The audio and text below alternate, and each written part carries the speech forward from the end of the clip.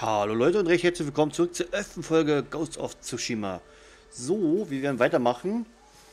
Und zwar wollten wir, glaube ich, in der letzten Folge äh, die mythische Geschichte starten.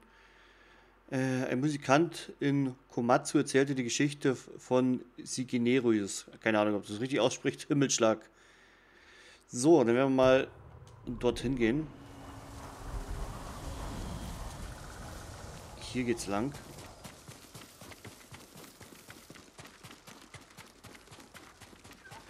Komatsu. Der Himmelschlag. 160 Meter. Ich bin gespannt, Leute. Der Vogel ist auch schon wieder hier. Schauen wir was der hier hat. Vielleicht bringt er mich auch genau dahin, wo ich hin muss.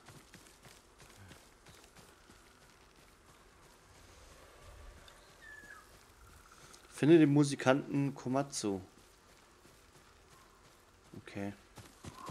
Susanoo, beschütze mich. Wer hat diese Menschen getötet? Ein furchterregender Krieger. Er verlangte, dass ich ihm die Geschichte von Shigenoris Himmelschlag erzähle. Als er die gesuchten Antworten nicht bekam, wurde er zornig und tötete sie. Was wollte er wissen? Ich bin nicht sicher, mein Herr. Erzählt mir die Geschichte. Ich muss wissen, was er sucht. Als Tsushima erstmals besiedelt wurde, fegte ein seltsames, schreckliches Gewitter über die Insel. Wo immer der Blitz einschlug, erschienen wilde Blitzkreaturen. Diese Bestien rasten durch Dörfer, brachten Tod und Zerstörung und waren so schnell, dass niemand sie aufhalten konnte. Die Menschen kannten nur einen Mann, der es mit den Blitzbestien aufnehmen konnte. Shigenori, der schnellste Schwertkämpfer von ganz Tsushima. Shigenori war bislang unbesiegt. In jahrelangem Training hatte er den Himmelsschlag entwickelt. Einen so schnellen Angriff, dass kein Auge ihm folgen konnte. Okay. Shigenori lockte die Kreaturen zu einem verlassenen Strand in Komatsu, wo der Sand sie langsamer machen würde. Ihr Duell machte den Sand zu Asche und bleichte die Blätter der Bäume weiß. Shigenoris Himmelsschlag streckte sie schneller nieder, als sie sich bewegen konnten. Als die letzte Bestie fiel, klarte der Sturm auf und Tsushima war wieder sicher. Shigenori begann ein zurückgezogenes Leben. Nur wenige Schüler fanden ihn. Und nur die tapfersten und begabtesten erwiesen sich als würdig, den Himmelsschlag zu erlernen.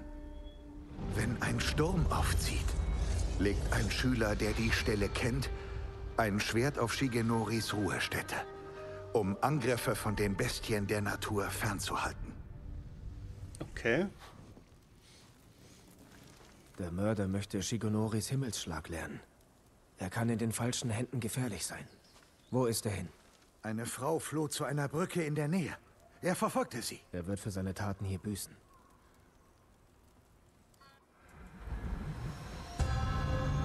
Der Himmelschlag.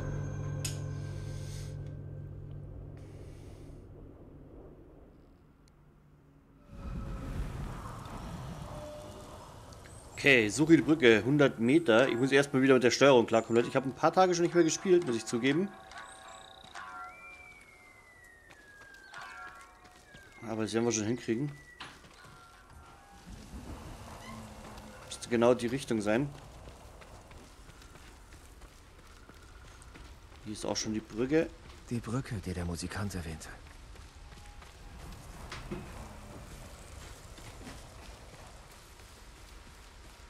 Da weint jemand. Wo?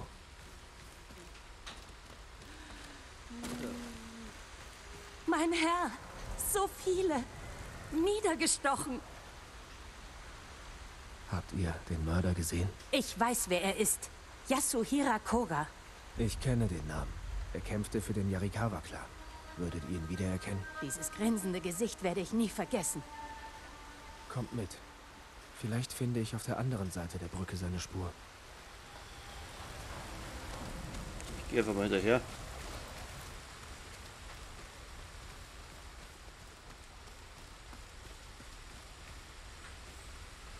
Hufspuren. Yasushira hatte es eilig.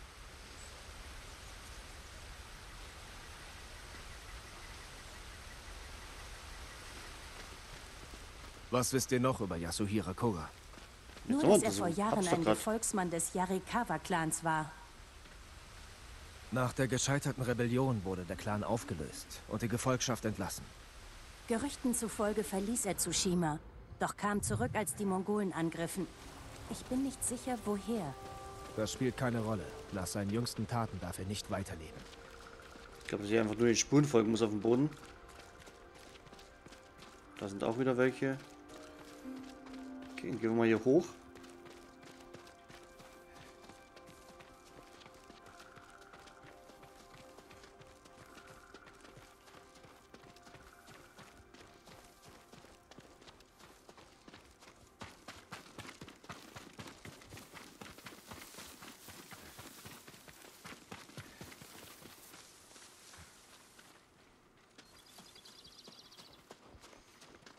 Okay, ich denke mal, dass es da oben auf dem Berg irgendwo ist. Da vorne. Sie errichten eine Straßensperre.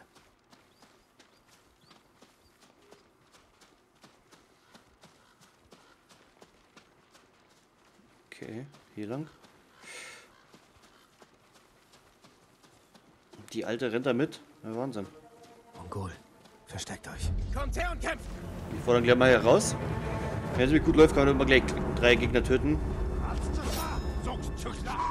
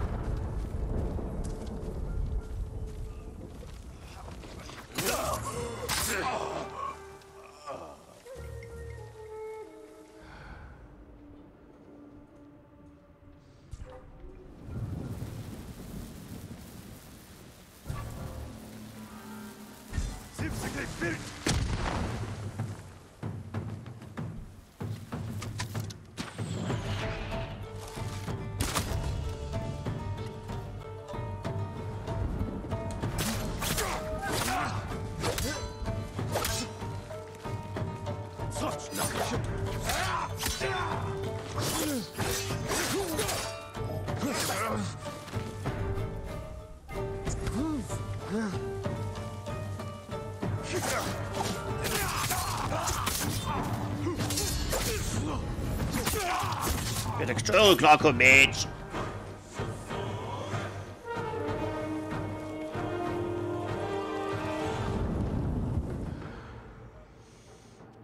Okay, hier sind noch zwei Gegner.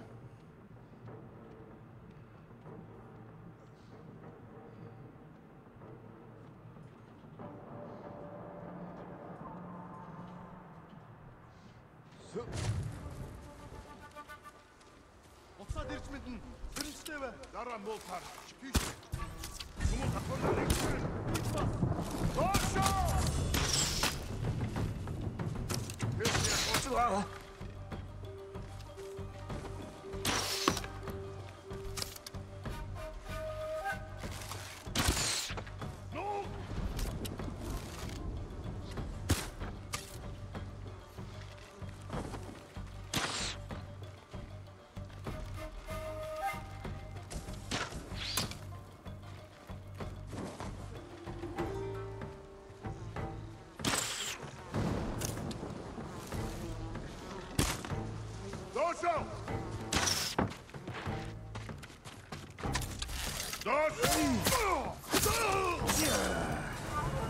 Okay.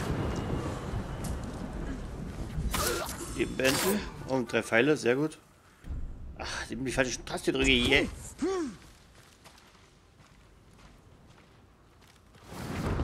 Ich kann Yasuhira Koga nirgends sehen.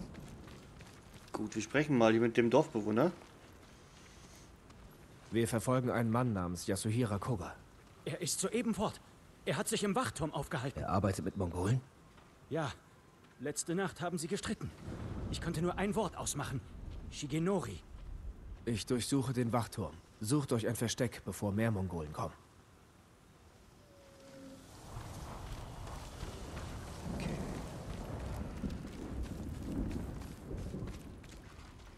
Machen wir mal auf, da ist zwar keiner drin, aber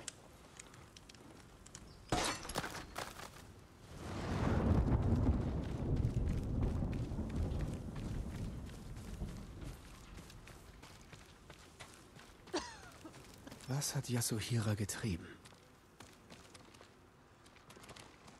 Weiße Blätter, wie die vom Blitz gebleichten in der Geschichte. Die Mongolen haben ihre eigene Version von Shigenoris Geschichte. Vielleicht wollte er sie mit der des Musikanten vergleichen. Okay, gehen wir hoch.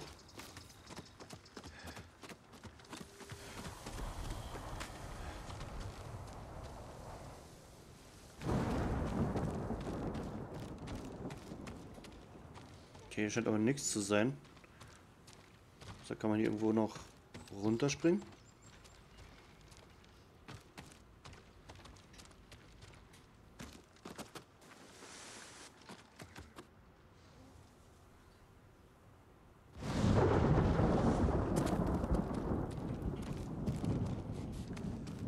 Ah, das Bild, okay. Ein Duellring. Er sucht danach. Sprich mit der Frau. Yasuhira sucht nach jemandem, der in Shigenoris Himmelsschlag lehren kann. Die weißen Blätter. Es gibt solche Bäume ganz in der Nähe. Dann ist er dort. Ihr habt genug geholfen. Bringt euch bei den anderen in Sicherheit. Danke, mein Herr. Ich hoffe, ihr bestraft dieses Monster. Wir probieren es auf jeden Fall. Ich muss weißblättrige Bäume finden. Sprich mit dem weißblättrigen Baum.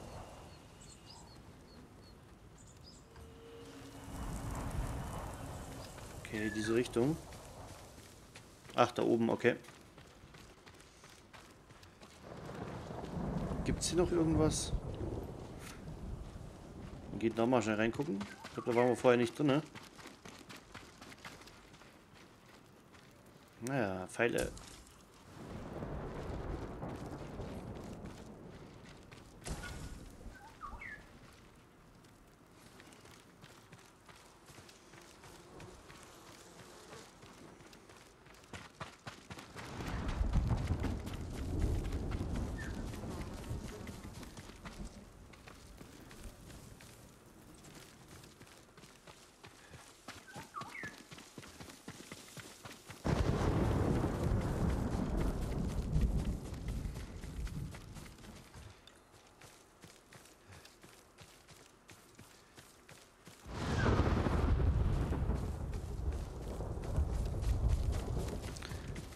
Zeigst du mir was, Vogel?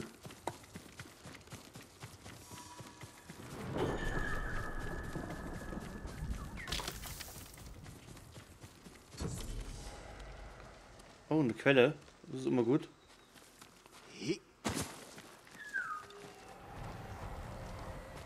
Kriegen wir ein bisschen mehr Energie dann. Und äh, unser Leben wird auch natürlich geheilt.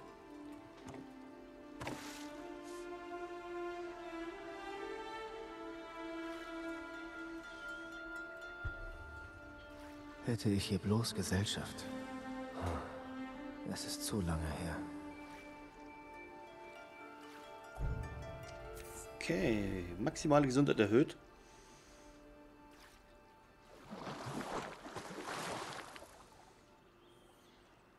Sehr schön. Jetzt schauen wir mal, wo der blöde Baum ist. Wird da oben sein, okay.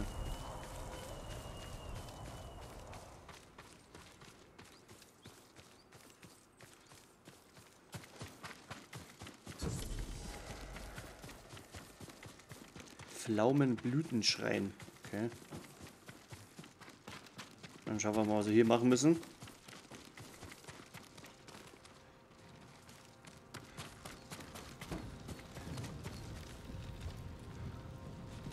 Okay, kommen wir nicht weiter.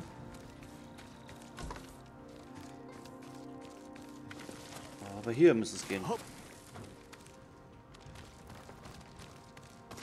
So.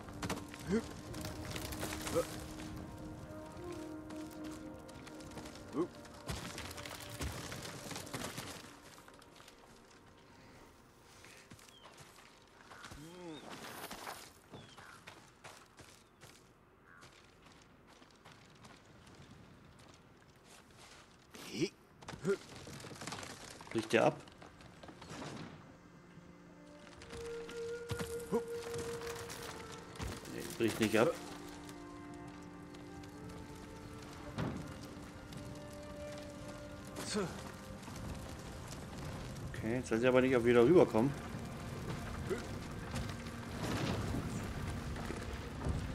Das sieht so aus.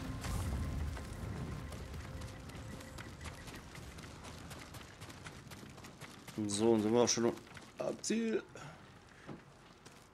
Da ist die Hütte, die schauen wir uns gleich noch an.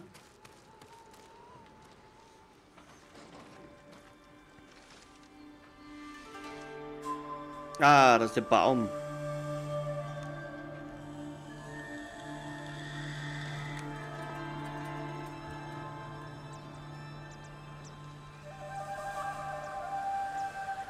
Sieht so aus, als wenn wir darüber springen könnten. Talisman von Kaguchi. Talisman des Feuer. Kamis, was ist das? Das schauen wir uns das gleich mal an. Talisman, ja, jetzt haben wir aber keinen Slot mehr frei. Das ist der hier, oder?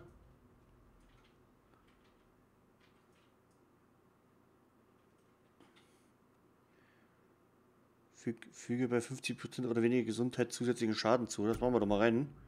Ist auch der Feuertalisman.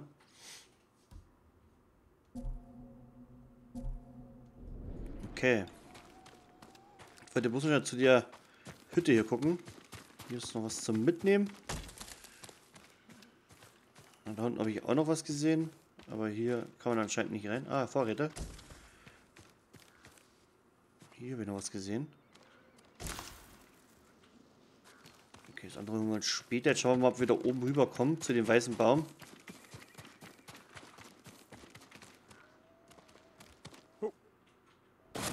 Okay, da kommen wir anscheinend rüber. Sehr schön.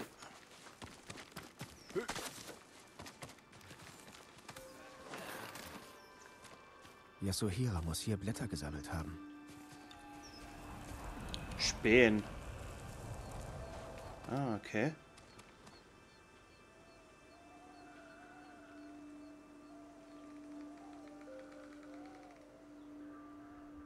Ist sie. Weiße Blätter. Wie die vom Blitz gebleichten in der Geschichte.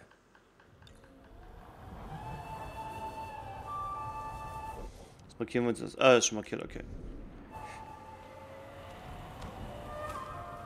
Kommen wir hier runter?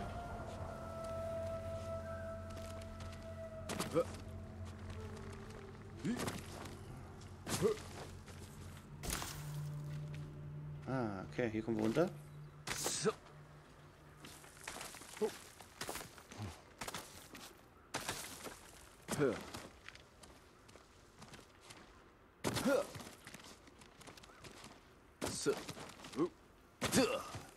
Okay, sehr schön.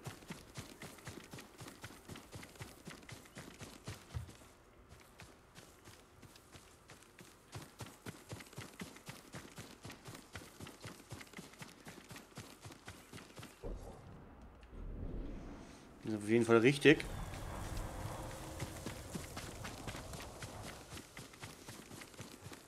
Ich bin gespannt, was da wieder für ein Gegner kommt dann.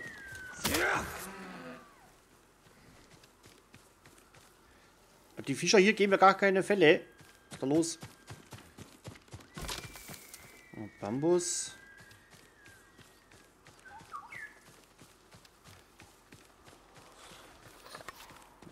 Mal Vogel hinterher.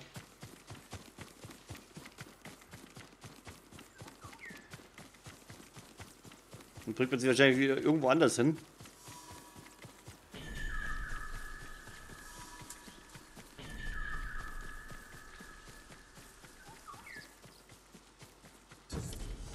Säule der Ehre.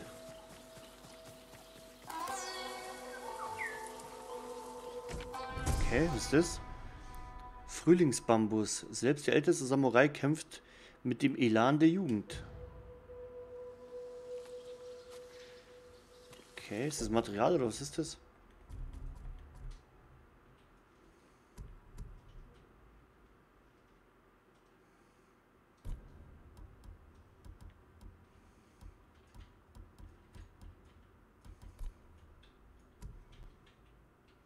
Hm, keine Ahnung, wird das Spiel schon sagen dann.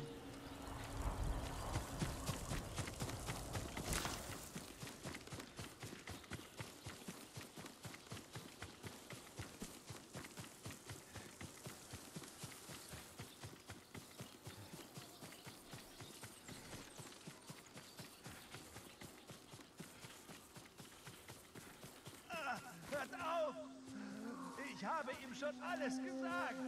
Da wird jemand gefoltert.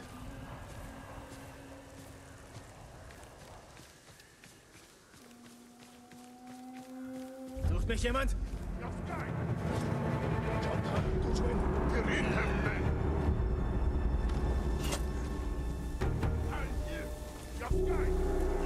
Hört auf! Ich ihm schon alles gesagt!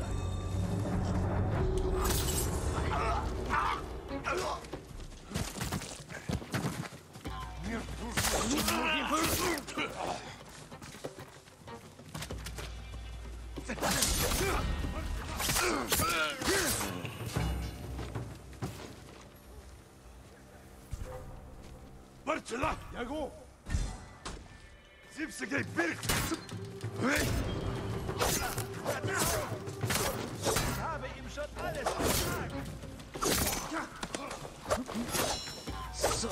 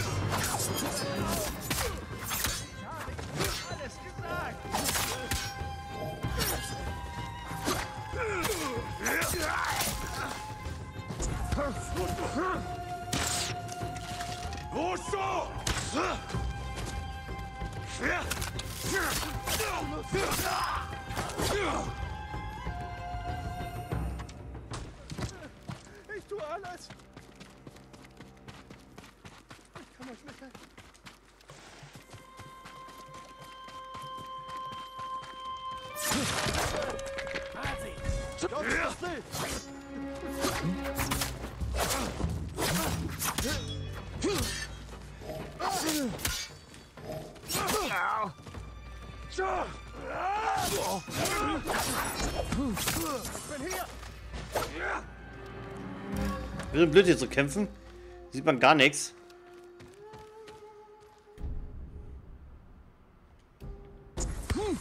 Voll.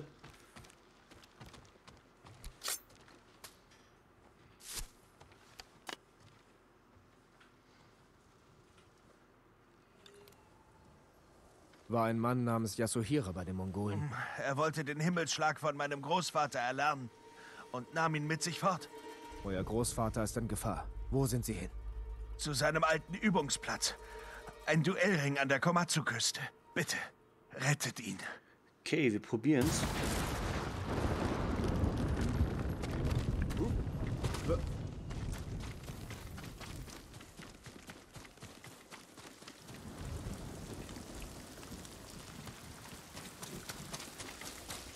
Yasuhira darf den Himmelsschlag nicht erlernen.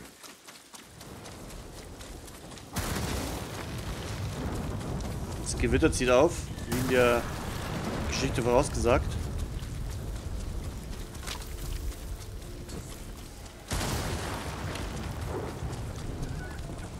Fuchsbau, den nehmen wir natürlich mit.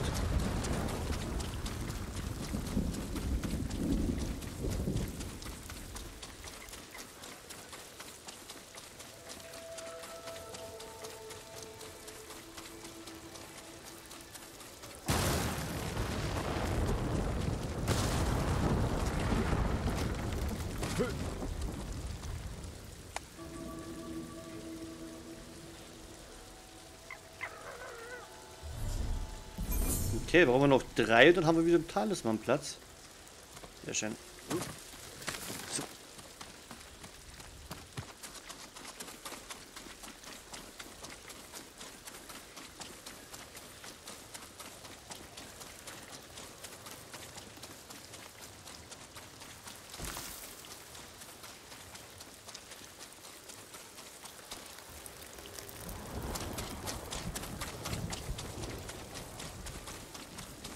Okay, Leute, ich würde sagen, aber wir machen jetzt hier an der Stelle Schluss, weil ich denke, äh, dass das mit der Ruhestätte da wahrscheinlich ein bisschen länger dauert. Das schauen wir uns natürlich dann in der nächsten Folge an. Also bleibt auf jeden Fall dran. Ich würde mich freuen, äh, wenn ihr wieder einschaltet. Und ja, wenn es euch gefallen hat, lasst mir auf jeden Fall ein Like, Kommentar oder auch Abo da. Gut, Leute, bis dahin wünsche ich noch viel Spaß auf meinem Kanal. Ciao, ciao, reingehauen. Euer Andi.